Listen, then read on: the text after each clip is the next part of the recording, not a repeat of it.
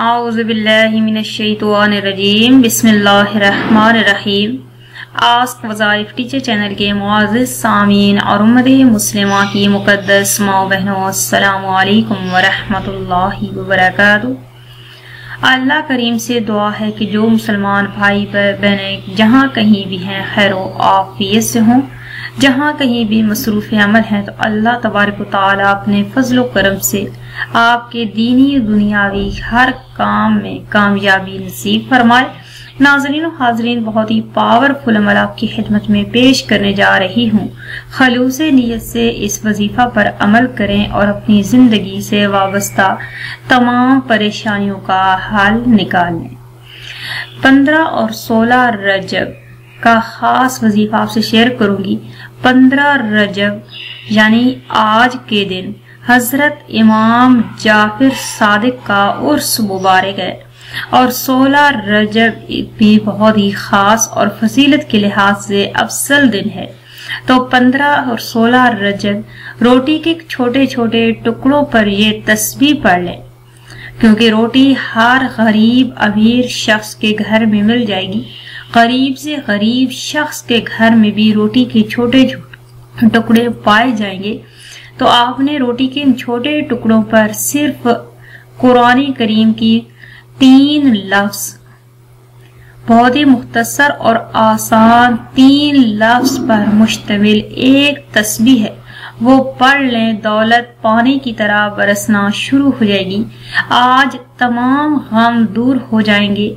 हर दुआ फ़ौरन कबूल होगी। आज जो मोहताज होंगे, वो गनी बन जाएँगे। जो तंगदस्त होंगे, वो अमीर बन जाएँगे। जो कर्जदार होंगे, वो कर्ज से निजात पालेंगे जो बेरोजगार होंगे, आज उनको अच्छा रोज़गार नसीब होगा। जो बे औलाद होंगे इनशाला इसी महीने में औलाद नरीना की खुशखबरी पाएँगे।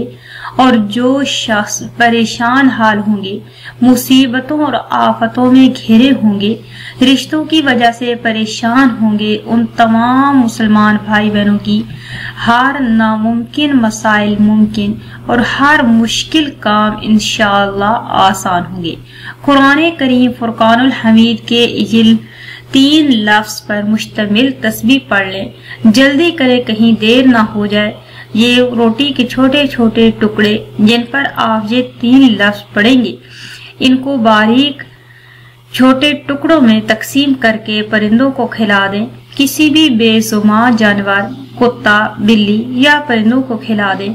इनशाला वो परिंदे भी दौलत ला ला कर आपके घर फेंकेंगे। वो फरिश्ते भी गिड़ गिड़ा कर आपके सामने हाथ फैलाकर दुआ मांगेंगे कि, ए, मांगने वाले मांग आज तेरी हर डिमांड पूरी होगी।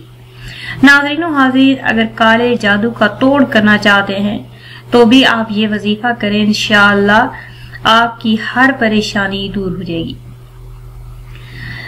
रिस्क दौलत इस कदर आएगी कि सात नस्लों तक काफ़ी होगी। ये तीन कुरानी लफ्ज पढ़ने से कौन कौन सी ताकतें आपको मिलेंगी? जानिए इस वीडियो के अंदर। वीडियो पर को आखिर तक ज़रूर देखें और सब्सक्राइब ज़रूर कर लिया करें। पसंद आए तो वीडियो को लाइक भी करें। अमल क्या करना है? पंद्रह और सोलह रजब, यानी इन दो दिनों के अंदर रोटी के छोटे छोटे बारीक टुकड़े कर लेने हैं। छोटे बारीक टुकड़े करने के बाद उनके ऊपर कुरान करीम फुरकान हमीद की एक मुख्तसर तस्वीर, तीन लफ्ज पर मुश्तमिल, आलिफ, लाम, मीम। आलिफ, लाम, मीम, इन तीन लफ्ज को आपने एक तस्वीर के ऊपर सौ मरतबा पढ़ लेना है।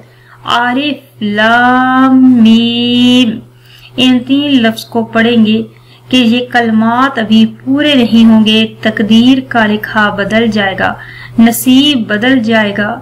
जब दुआ मांगोगे तो फ़ौरन कबूल होगी, रिज्क में बरकतें होंगी, हर परेशानी दूर होगी। हर मुसीबत से निजात मिलेगी और हर अमल काबिल कबूल होगा। करोड़ों हाजात इंशाल्लाह इस बाबरकत अमल के बाद पूरी होंगी।